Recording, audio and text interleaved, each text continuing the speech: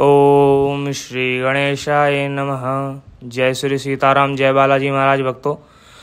भक्तों, आज मैं आपको बताने वाला हूँ एक ऐसा अनुभव, जैसा कि हमने अक्सर सुना है कि प्रेत आत्माएँ जब लोगों को लग जाती हैं, तब उनके नेगेटिव प्रभाव डालना शुरू कर देती हैं और उन्हें धीरे धीरे वो मेंटली डिस्टर्ब कर देती हैं। ऐसी एक सत्य घटना मैं आप लोगों के सामने लेकर आया हूँ। अमित नाम के एक व्यक्ति हैं, उन्हीं की यह अनुभव जो कि उन्होंने मुझे बताया। अमित बताते हैं कि वो अपने गाँव में खेती बाड़ी ही करते हैं। जैसे कि उनके खेत अत्याधिक हैं तो उनके पिताजी और अमित ये अपना खेती बाड़ी संभालते हैं। अभी क्या अमित बताते हैं कि कुछ टाइम पहले वो अपने खेत की सिंचाई ही कर रहे थे, तब उनको कुछ अजीब सी गर्माहट का एहसास हुआ। हालाँकि बरसात का मौसम था, धान की रोपाई हो रही थी, उन्हें अजीब सी गर्माहट महसूस हुई। उसके बाद वो अपना सारा काम ख़त्म करने के बाद घर पर गए। घर पर जाने के बाद उन्हें लगा कि उन्हें बुखार हो गया है।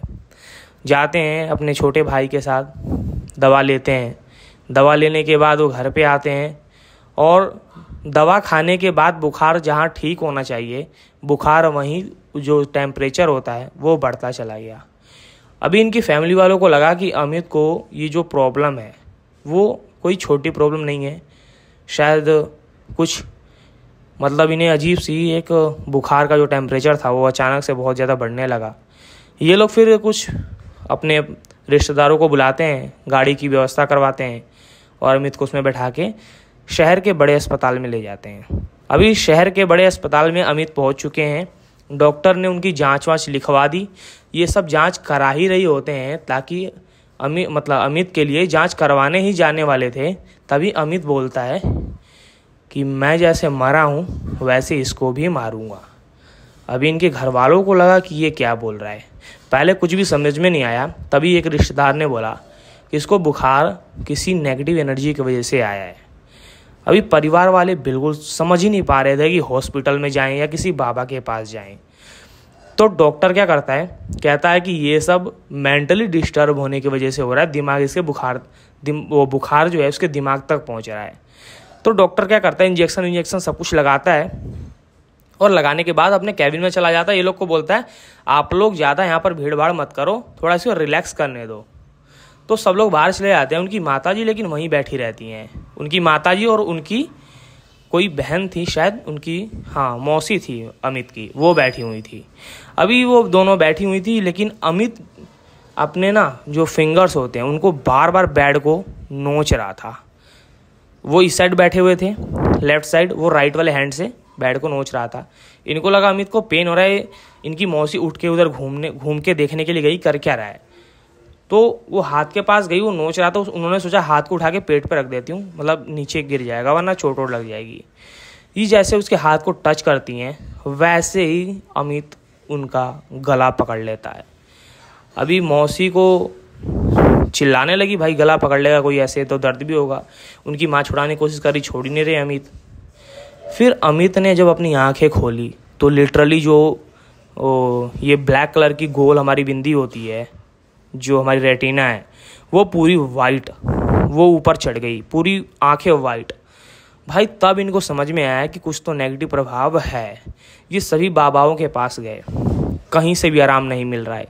सभी तांत्रिकों के पास गए। जितने भी ओझा जो बता रहा है, जहाँ बता रहा है, वहाँ जा रहे हैं। कहीं से भी कुछ भी आराम नहीं मिल रहा है।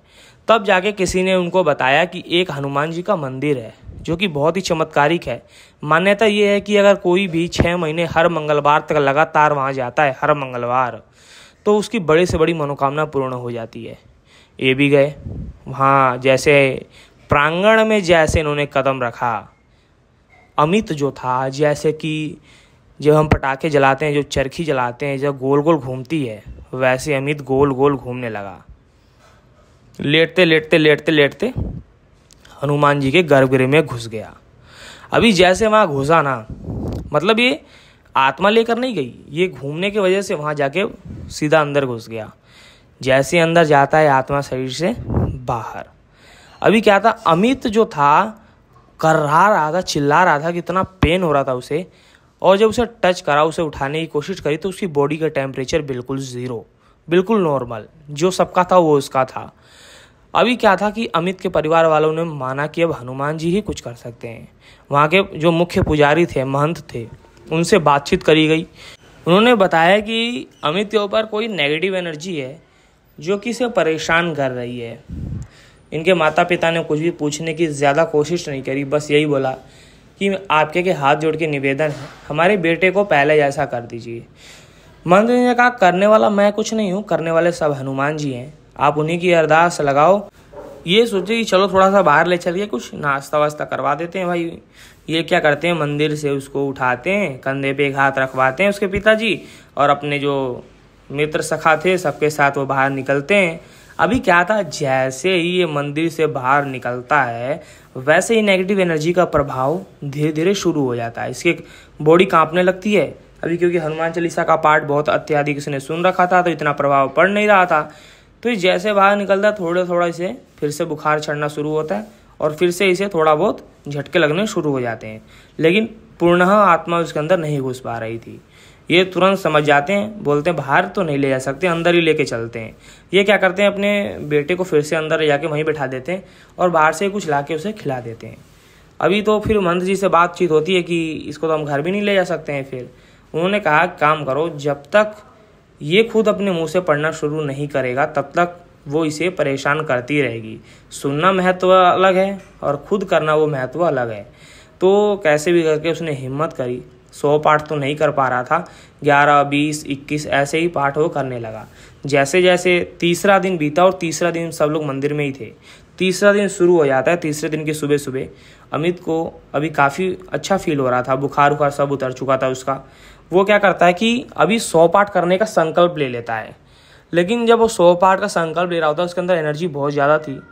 और जैसे जैसे पाठ बढ़ता है, अमित की एनर्जी धीरे धीरे लो होने लगती है। क्योंकि नेगेटिव जो एनर्जी थी, भले अमित के शरीर से दूर थी, लेकिन उसका प्रभाव अभी भी अमित के ऊपर था, क्योंकि जैसे वो बाहर जाएगा, उसके लग जाएगी वो। तो अमित को उस चीज़ से हटाने के लिए उसने एनर्जी पूरी ले ली उसकी। अभी अमित बिल्कुल भी हारा नहीं, लगातार पाठ करता गया, लगातार पाठ करता गया। और एंड टाइम तीसरे दिन की शाम तक, अमित अपने घर गया, उसके अंदर हनुमान जी की सारी शक्तियाँ समाहित हो गई। क्योंकि उसको नेगेटिविटी से लड़ना था, उसने सच्चे मन से सौ पाठ किए हनुमान जी के। और उसे हनुमान जी की वो दिव्य शक्ति प्राप्त हुई कि वो किसी भी आत्मा को अपने मंत्रों द्वारा बाँध सकता है और उसे कहीं भी स्थापित करके रोक सकता है। हनुमान जी की कृपा से उसको ये शक्ति प्राप्त हुई और उसने कभी भी इसका दुरुपयोग नहीं किया, ना ही कहीं प्रयोग किया। जब ज़रूरत पड़ती तभी प्रयोग करता।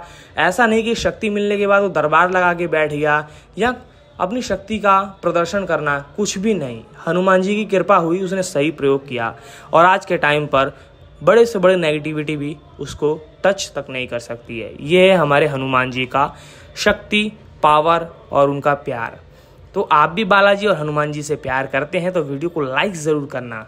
मिलते हैं अगली वीडियो में। तब तक के लिए जय सिया राम।